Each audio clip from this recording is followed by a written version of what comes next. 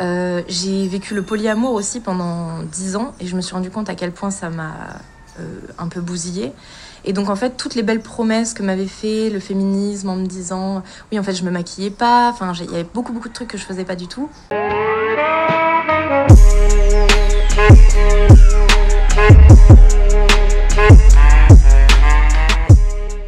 Alors bonjour et bienvenue sur cette nouvelle vidéo. J'espère les gars que vous allez bien depuis la dernière fois. N'hésite pas à t'abonner si jamais tu viens juste d'arriver, puisqu'on est obligé de chialer pour que les gars s'abonnent aujourd'hui. Hein. Sinon, euh, la dernière fois j'ai fait une vidéo, j'ai dit les gars, soyons solidaires au moins entre hommes les gars. les femmes elles sont solidaires au moins. Tu pourras dire ce que tu veux, mais au moins les femmes elles sont solidaires entre elles. Euh, hein. et, là, quand j'ai chialé, les gars ont fait Ah ouais c'est vrai là, il faut s'abonner, les gars, abonnez-vous. Mettez un petit j'aime. Euh, ici, c'est Jonathan l'idée de la chaîne pour te permettre d'être DTR, passe à l'action, créer ta vue sur mesure. Pour ça, deux choses que je te propose. Moi, étude de cas où je te montre exactement comment j'ai fait 20 000 euros en une semaine. C'est gratuit, c'est offert. Ok, donc avant de créer l'arnaque, regarde quand même. Et deuxième chose, c'est si jamais euh, tu veux utiliser par exemple euh, ton CPF pour pouvoir investir en toi, tu peux accéder à Pirate Marketing où je te montre une stratégie pour atteindre au minimum les 5000 euros par mois. Il y a un appel offert, tu cliques pour en savoir plus. Ok, il y a plein de choses dedans, je le répète dans toutes mes vidéos, donc euh, je pense que tu sais déjà ce qu'il y a dedans. Ok, et euh, pas d'excuses, j'ai grandi à dans 91, j'ai redoublé mon BEP trop technique, j'ai grandi dans le quartier des pyramides. Arrête de chialer si tu fais rien, il va rien se passer, c'est aussi simple que ça. Et passons directement au sujet de la vidéo. Donc du coup les gars, vous avez été plusieurs à m'envoyer euh, cet extrait de vidéo. au début, il y en a un qui me l'a envoyé, je dis ouais, bon, je pense pas que je vais réagir dessus. Après, j'ai 2, 3, 4. Ah ouais, là, quand même, peut-être que je vais euh, euh, réagir par rapport à ça et te donner ce que j'en pense. Euh, et n'hésite pas aussi si jamais tu as des vidéos sur lesquelles tu veux que je réagisse, ben envoie, hein. c'est vous qui décidez les gars. Hein. Si vous êtes plusieurs à m'envoyer la même vidéo, ben, je me dis bon ben voilà, faut que je, faut que je jette un coup d'œil et que j'en parle quand même. donc on va regarder ça ensemble, la vidéo directement sur Instagram. C'est sur l'Instagram Le Crayon Média. De désir chez les hommes. Ok, je ne désire pas de désir chez les hommes. Parce que tu commences trop vite là, calme-toi. Ok, bon. Or, euh, je suis quand même une femme, j'ai envie d'avoir des enfants, j'ai envie d'avoir une vie de famille, et, euh, et j'ai envie d'avoir une vie tout simplement, de plus être euh, seule. Alors, c'est vrai, bon, je veux pas. J'ai un peu du mal à croire quand même qu'elle qu'elle ne suscite aucun, aucun désir auprès des hommes. Ça me paraît quand même euh, peut-être pas les hommes qu'elle voudrait, mais je pense quand même qu'il y a forcément deux trois, deux, trois gars quand même qui sont, euh, qui sont attirés par elle quand même, en tout cas qui, qui, aimeraient rentrer en intimité. Voilà, pour parler euh, franchement, je pense pas qu'il y ait zéro homme qui, qui, qui essaye quoi que ce soit avec elle. Ça m'étonnerait quand même. Sûrement les hommes qu'elle voudrait avoir, oui. Oui, par contre, oui, il y a peut-être de grandes chances. Euh, j'ai vécu le polyamour aussi pendant 10 ans et je me suis rendu compte à quel point ça m'a euh, un peu bousillé. Et donc en fait, toutes les belles promesses que m'avait fait le féminisme en me disant oui en fait je me maquillais pas, enfin il y avait beaucoup beaucoup de trucs que je faisais pas du tout. Alors par contre pour être juste, euh, je pense pas qu'il y ait de rapport. Bon après c'est un extrait donc euh, voilà il faudrait voir l'interview entier. Euh, le polyamour, je pense pas que ce soit quelque chose que le féministe euh, prône. Enfin, je suis pas, en tout cas, j'en suis pas au courant. Euh, maintenant, se maquiller, je pense pas que le féministe dit de, ne pas se maquiller. Hein.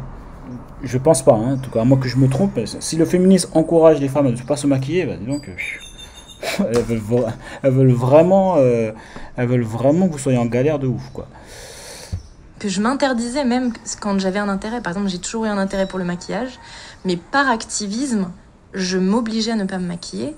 Et en fait, j'arrive à 30 ans et je me prends mais là, une baffe, mais stratosphérique, quoi. Parce que je me dis, mais là, en fait, euh, là, le plan que j'avais, c'était d'avoir une famille, des enfants, j'ai rien, qu'est-ce qui se passe, pourquoi? Et puis, en fait, euh, au bout d'un moment, je me suis rendu compte que finalement, euh, toute la déconstruction qu'on m'avait vendue ne m'avait apporté finalement que des traumatismes et beaucoup de, beaucoup de chagrin et beaucoup de... Enfin, je me sentais vraiment misérable en fait.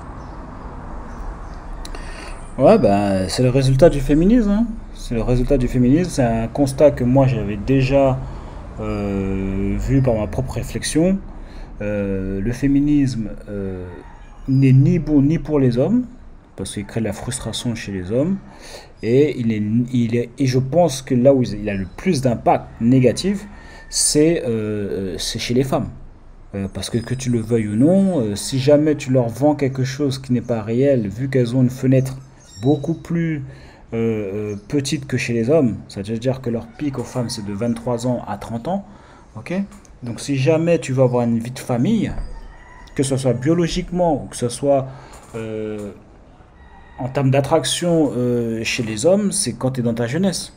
Que, tu ne sois pas content, que tu dises que c'est pas vrai, nanani, parce que le féministe a lavé le cerveau et t'a dit, dit non, t'inquiète pas, il n'y a aucun problème, tu peux avoir des enfants même à 40 ans, et que genre les hommes, ils, aiment les femmes autant qu'à 35 ans, les hommes préfèrent les femmes qui ont plus d'expérience.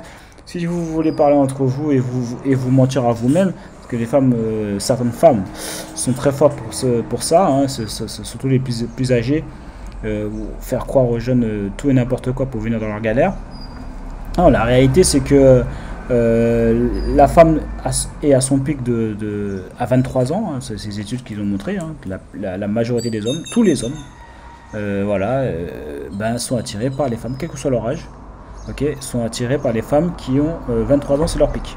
C'est le pic de la femme, ok? Donc après, évidemment, ça peut varier en fonction de, de chaque individu. mais tu comprends le principe et c'est pas un secret. Je comprends même pas pourquoi on a d'études pour savoir que les hommes sont attirés par les femmes jeunes. Ça ne veut pas dire les filles ça ne veut pas dire les filles que les hommes ne sont pas attirés par les femmes qui ont 30 ans, etc. C'est juste qu'après, il va falloir faire des...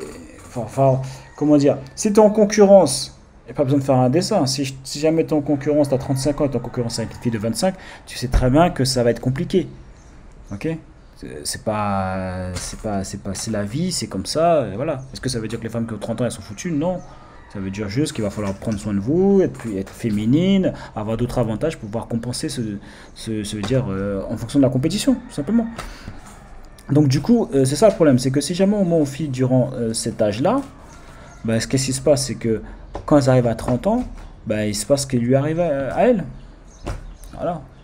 Parce qu'on t'a menti, on t'a fait croire différentes choses. Donc après les arguments qu'elle avance, bon, je pense qu'elle n'a pas mis, pointé vraiment du doigt euh, le réel problème du féminisme, même si elle en voit le, résultat, mais elle n'a pas su, je pense, pointer du doigt, mais après, j'ai pas vu l'entièreté de, l'interview, euh, parce que, bon, polyamour, je pense pas que ça soit lié au féminisme.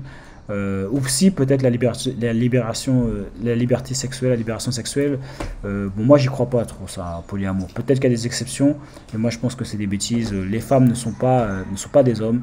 voilà, enfin, je suis désolé, mais même la veuve de Sex on the City, là, elle a dit bon en fin de compte je me suis trompé, hein, c'était pas vrai. je suis en galère maintenant, j'ai 60 ans, je suis toute seule. la liberté sexuelle, le coucher avec plein de gars, non c'était nul. Finalement c'était nul, je me suis trompé. Voilà, ça, mais personne, ça, t'inquiète pas que les, magazines féminins, elles en parlent pas, ça. Bah oui, parce que vous n'êtes pas des hommes, et, arrêtez d'essayer d'être des hommes, en fait. Le féminisme, en fait, veut pousser les femmes à, vouloir agir comme des hommes, mais vous n'êtes pas des hommes. Donc forcément, ça n'aura pas les mêmes répercussions. Un homme, euh, il, peut avoir des enfants jusqu'à jusqu'à jusqu'à 80 ans, 70 ans. On en connaît plein, ça. Une femme, dès qu'elle arrive à 30 ans, elle galère pour avoir des enfants. Donc si tu te réveilles à 30 ans et que tu te rappelles que ah en fait ils m'ont menti, il y a plein de femmes après 30 ans qui galèrent pour avoir des enfants. Je te parle même pas de celles qui ont 40 ans. Donc je sais pas ce, truc de cette croyance populaire qui est véhiculée comme quoi les femmes peuvent avoir des enfants à 40 ans, mais c'est juste du mensonge en fait. Et le problème c'est que c'est sans appel quoi. Ça veut dire qu'on t'a menti, pendant toute ta vingtaine, tu as fait n'importe quoi, tu as couché avec tous les gars, etc. Et, puis ça entraîne plein de, plein de complications. Hein. Je te parle même pas des, euh, déséquilibres de pH, de toutes les maladies que, euh, que tu dois te manger quand tu fais ça, plus tous les traumas que tu as derrière, euh, pour une femme, une femme, une femme normalement constituée n'a pas envie de coucher avec plein de gars. Qu'est-ce que je veux dire? Alors que l'opposé n'est pas vrai. euh, voilà, soyons, réels. C'est juste qu'il faut accepter les différences qu'il y a entre hommes et femmes et c'est tout. Enfin, tant que tu veux pas, tant que tu voudras pas accepter, eh ben, euh, ça causera des problèmes et, ça aura plus d'impact négatif sur, euh, ben, sur les femmes qui écoutent tout ce courant féminisme. Simplement, donc moi il y a deux choses. Moi le, le réel problème que je vois par rapport au féminisme 2.0, hein, c'est que le féminisme 1.0, c'est déjà réglé. L'idée, et ça c'était un combat noble, on est tous d'accord là-dessus, l'idée c'est que les femmes aient les mêmes droits que les hommes, et les mêmes opportunités que les hommes. Bon, ben ça c'est chose faite. Ok? Dis-moi seulement un, qu'est-ce qu'un homme a droit En quoi un homme aujourd'hui euh, euh, a droit et qu'une femme n'a pas? Il n'y en a pas. Ok? Il n'y en a pas. Elles s'inventent des trucs, elles sont obligées d'inventer des trucs. Oui, en différence de salaire, il n'y a pas de différence de salaire. Ça a été prouvé à maintes et maintes reprises. Euh, c'est pas vrai. Il n'y a pas de différence de salaire.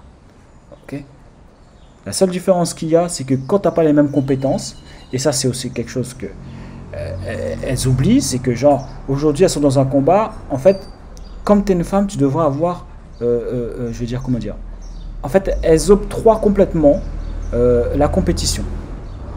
Bienvenue, tu voulais être égal à l'homme, bienvenue dans le monde des hommes. Le monde des hommes, c'est la compétition. Et ceux qui ont les, euh, les, comment dire, les meilleurs résultats ou les meilleures opportunités, c'est les gens qui sont les meilleurs. C'est pas lié à ton genre, c'est pas lié à ta race, c'est est-ce que tu es le meilleur ou pas. C'est comme un business. Voilà. C'est le marché qui décide. Si tu es le meilleur, on te prend, que tu sois femme ou homme. Mais aujourd'hui, le féminisme, veut pousser le truc à mode euh, non, euh, en fait, tu dois me prendre parce que je suis une femme. C'est du n'importe quoi. Je comprends même, je j'arrive pas. Mon cerveau, il n'y arrive pas dessus en fait. Tu vois, euh, c'est le même principe. J'avais entendu un truc, euh, ouais, les femmes de la NBA doivent être payées comme les gars de la NBA.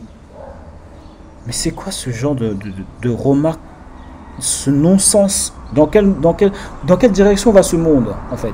J'ai l'impression qu'on devient de, de, plus en plus dégénéré en fait. Quand tu, quand tu exposes ce genre d'idées, tu es juste en train de montrer à quel point tu es ignorant en fait. En termes de comment fonctionne le business, comment fonctionne le monde. S'il y a moins de gens qui regardent la, euh, euh, comment ça s'appelle encore, euh, WNBA là, enfin les femmes qui jouent enfin, la, la NBA femmes quoi, s'il y a moins, tu vois, je connais même pas le nom.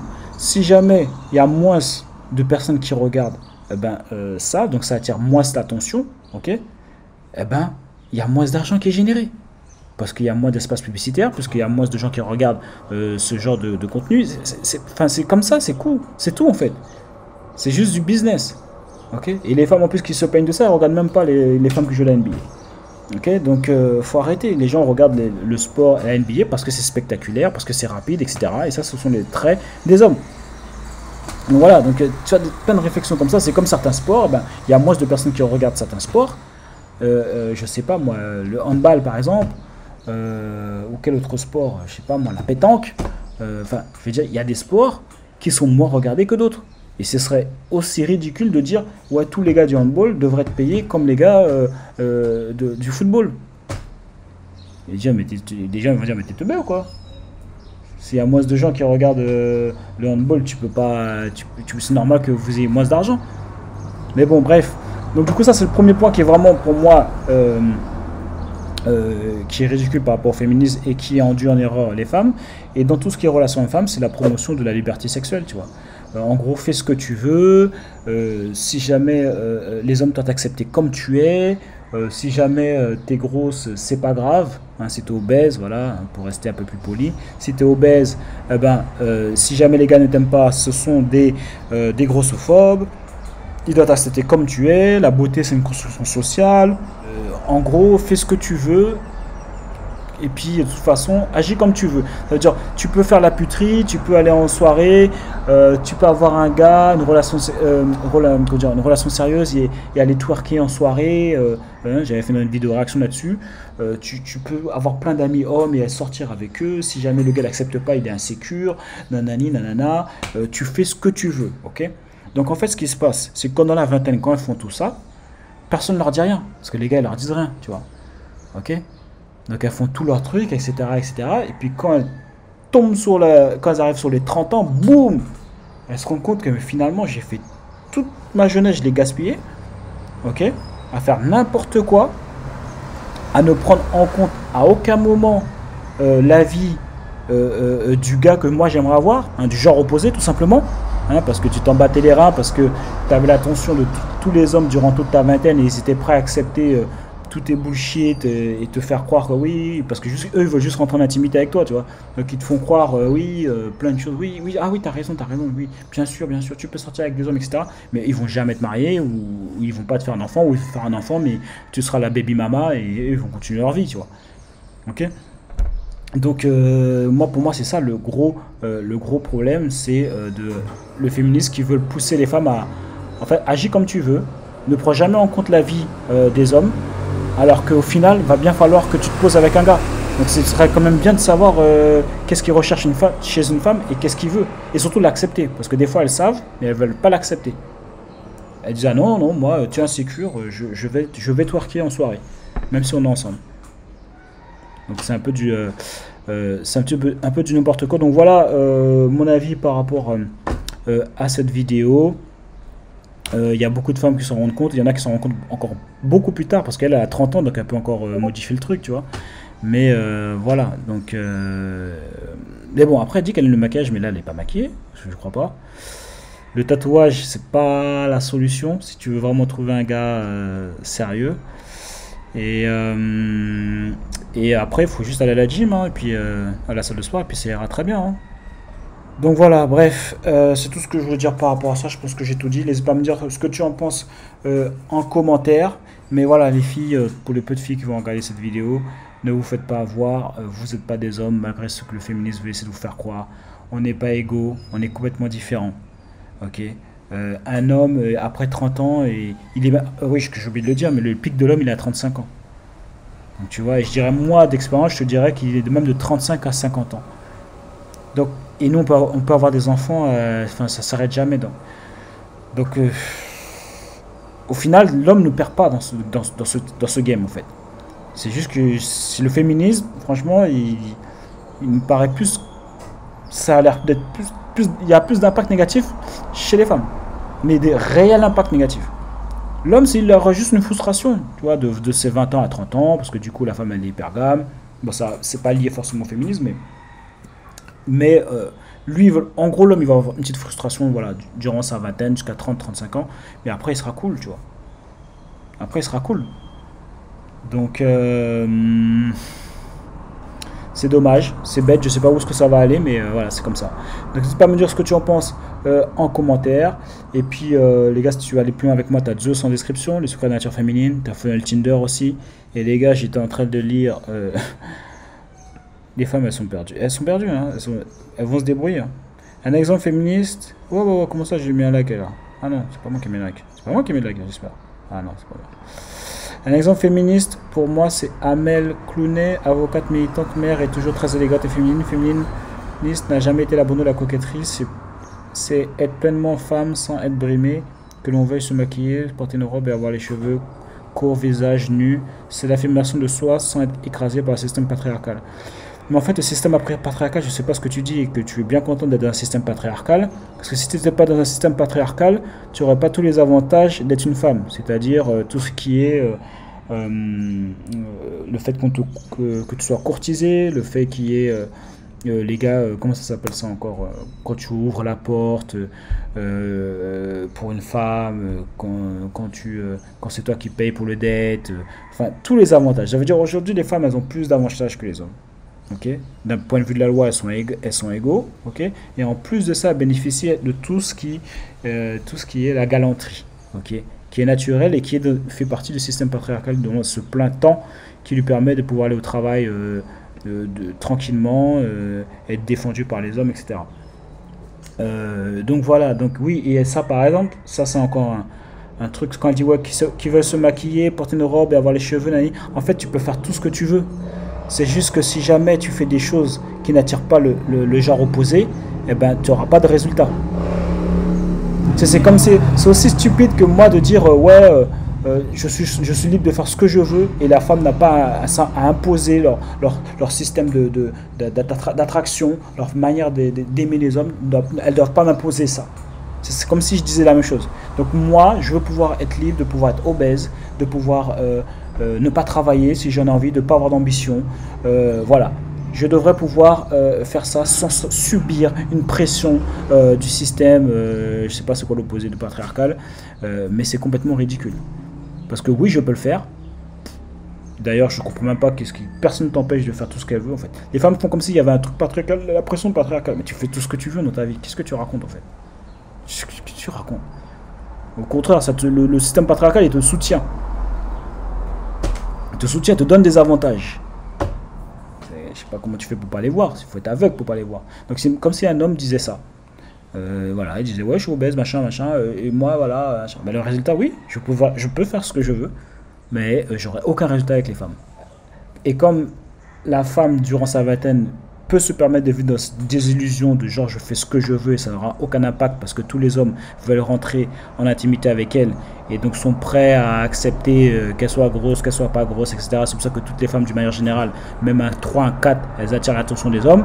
Ok, elles arrivent au moins en rentrant en intimité, ce qui leur donne la désillusion que peut-être que si j'arrive à attirer ce genre de gars juste pour l'intimité, peut-être que je peux l'avoir aussi euh, pour euh, une relation long terme. Donc, du coup, c'est ce genre de gars que je vise à partir d'aujourd'hui. Hein, voilà, donc tout ça, tu vois, tout ce... Il y a toujours une conséquence à tout. Et après, du coup, toutes les femmes, qu'elles soient 4 ou 5, elles se disent, ben, moi, je peux avoir un, 10, je peux avoir un millionnaire, etc., euh, etc. Ok? Donc voilà, voilà, voilà, voilà, voilà ce qu'il en est, les gars. Ok? Et si les filles, vous voyez toujours pas que vous êtes super avantagé en tant que femme, c'est parce que tu n'es pas belle. c'est juste ce que je peux te dire. Et en plus, c'est pas compliqué d'être attirante euh, quand tu es une femme. Hein. Fais attention à ce que tu manges, tu vas à la salle de sport, tu t'habilles bien et tu vas attirer le sexe opposé. Hein. Les hommes sont moins difficiles que les, les femmes. Un millionnaire serait ok de se poser avec un 6, un 5, un 6 peut-être quand même. Euh, mais c'est pas compliqué d'être un 6. Toutes les femmes peuvent être un 6. Donc euh, réellement, vous allez vous débrouiller. Mais si tu vois pas qu'il y a des femmes, elles rentrent. Si tu vois pas que t'es une femme, tu as un problème avec euh, d'une voiture, je sais pas, sur la route, tout le monde s'arrête. Tu es un homme, euh, ça, on s'arrête moins. Ok, tu rentres en VIP dans toutes les soirées. Euh, tu as des avantages dans tout, même au, même au taf, tu dois avoir l'attention de tout le monde, tout le monde doit être gentil avec toi. Enfin, je sais pas ce que. Moi, pour moi, c'est un, test géant, les gars. Elle veut juste tester et voir jusqu'où jusqu'où on va aller, jusqu'où les hommes vont accepter tout et n'importe quoi. Donc voilà, oui, j'étais un peu long. Mais voilà, comme ça, moi, tu, connais toute ma pensée. Donc voilà, euh, c'est tout pour cette vidéo, les gars. On lâche rien et on reste déterminé. Il y a eux, il y a nous. Je vais ton camp.